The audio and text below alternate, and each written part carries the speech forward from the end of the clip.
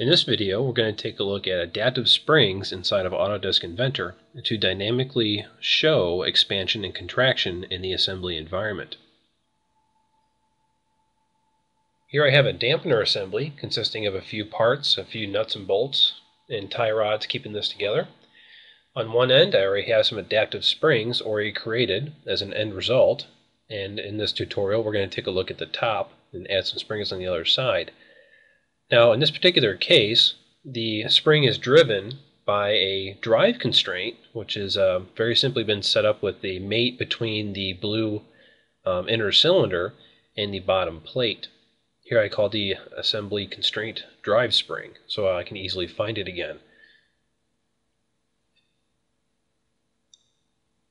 I'll go here and drive this constraint after I examine here the uh, offsets. Okay, it's currently at 65 millimeters. Let's go ahead and drive that. I'm going to drive this from a 65 millimeter value back to 30.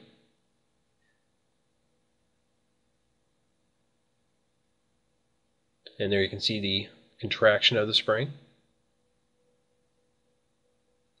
Play it forward. There's the expansion of this coiled spring.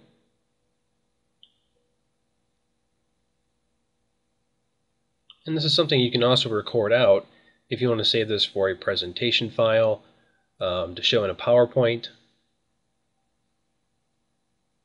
But the magic about what drives this is that little drive adaptivity box you see there. We'll talk about that a little bit later. But here I can see my repetitions and I can adjust this to have it cycle back and through a couple times.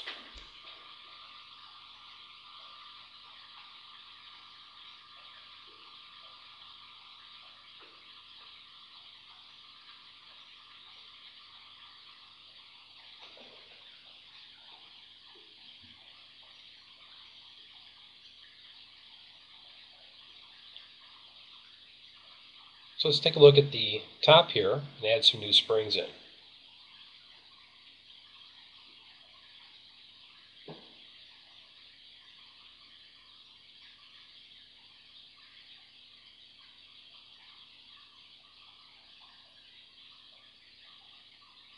I'm going to go ahead and create a new component. I'm going to call this one an upper spring. And I do want to keep these two springs separate. I want two different types of adaptive parts here.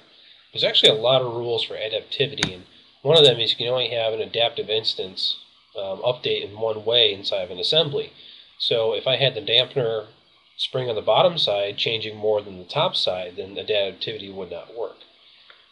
So I need to have two separate parts in order to make this work, so I can have different springs sized differently on each side. So maybe one side's contracted and one side's expanded. But here I went ahead and created the new component and I have the upper spring component. I went ahead and started a new component here with a sketch starting on that bottom face inside of the dampener there. Just going to finish that sketch quick. And I'm going to create a work plane on this bottom face down here. I'm just going to offset it zero. And I also want to create another work plane where I want this to terminate for the spring on the very top also offset of 0. And these are both adaptive work planes. You notice they put that adaptivity symbol in front of not only the upper spring part, but also the work plane 1 and work plane 2. Next up, I'm going to create a coil that's going to be built between these two work planes. Here I just reordered it to after the work plane because I actually want to use those work planes for projected references inside of my sketch.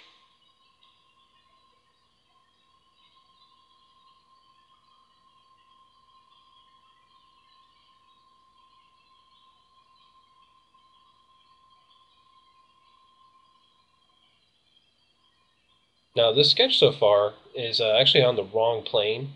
Um, I might as well just delete that one and recreate another one here actually. Let me do a, let's see, YZ.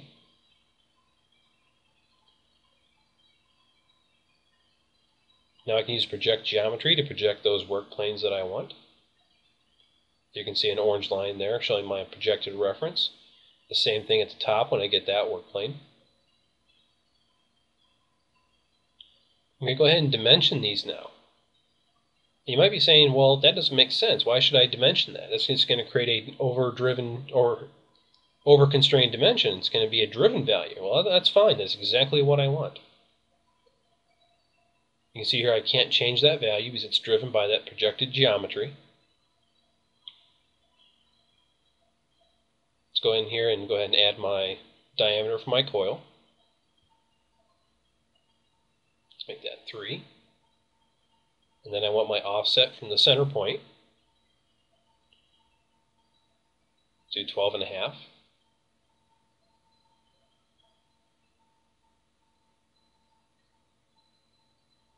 I'm going to go to my parameters box now and make some things a little bit more intelligent for me to understand here.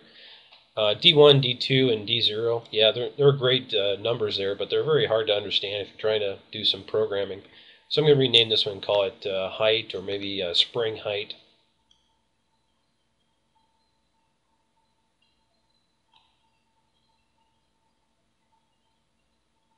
Go ahead and finish the sketch, start my coil command.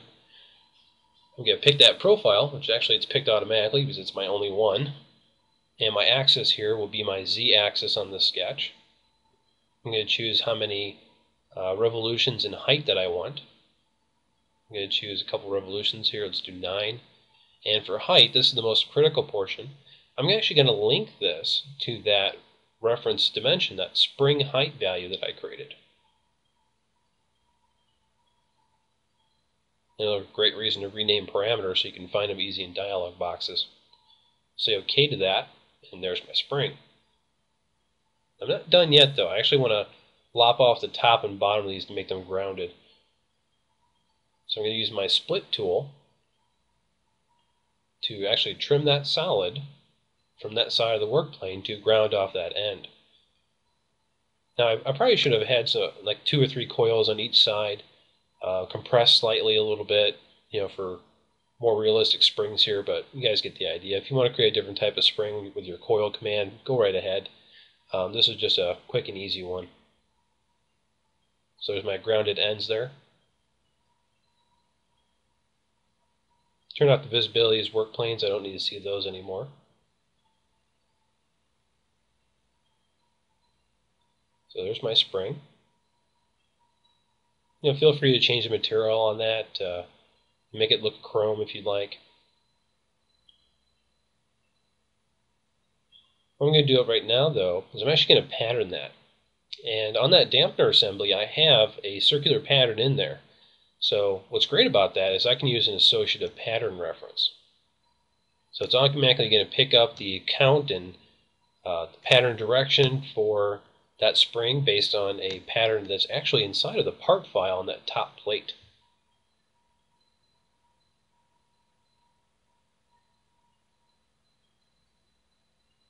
Okay, here I have another drive spring constraint. This is something I had created earlier.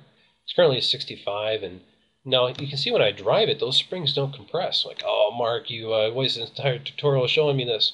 No, you got to make sure that drive adaptivity is turned on. Now, once that drive adaptivity is turned on, that will drive that as it's going through that constraint, which is feeding back into the part file for the projected geometry to change the height of that coil.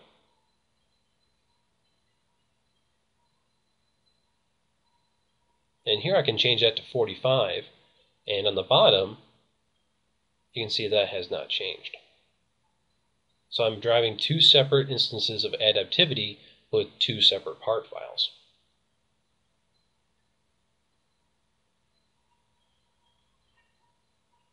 Now, what, what about um, bill material tracking? Because I have two separate parts, but I really just want uh, you know one spring to show up in my count. Instead of six on the top and six on the bottom, I want 12 to show up.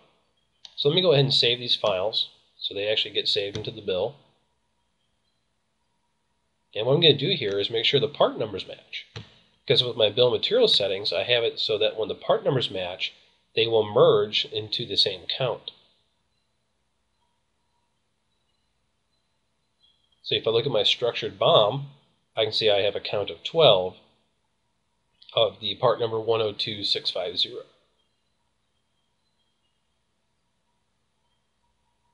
But yes, they are two separate files for the purpose of what I want to show. Then here I can also quickly change the material. Let's just change it to mild steel. And save. There you have it.